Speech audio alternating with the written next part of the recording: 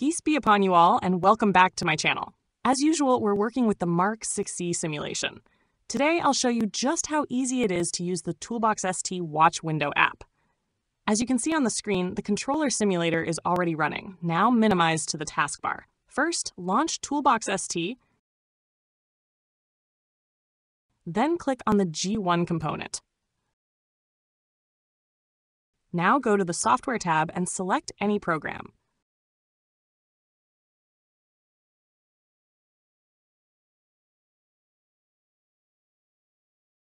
For this example, I've chosen something that relate to exhaust temperature control program.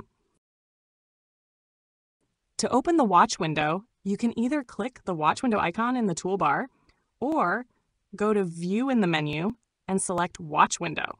Let me delete the previous one I created so we can start fresh.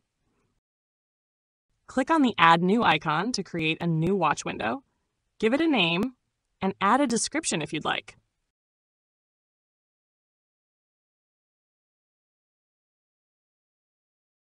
Now it's time to add variables. You can either drag and drop variables into the watch window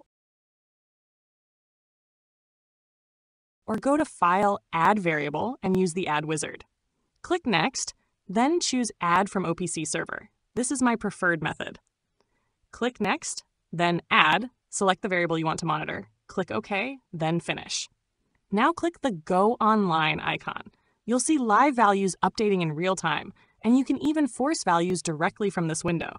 No need to jump between block diagrams and pages. Everything is neatly displayed in one place.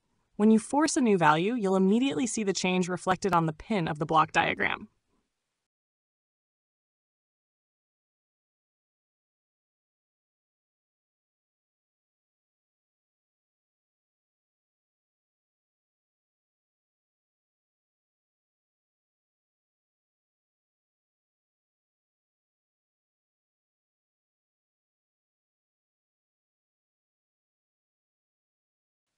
You can also save your watch window setup.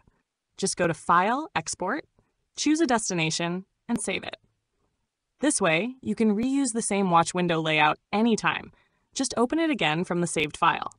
Even if you delete the window, you can always import it back using the exported file.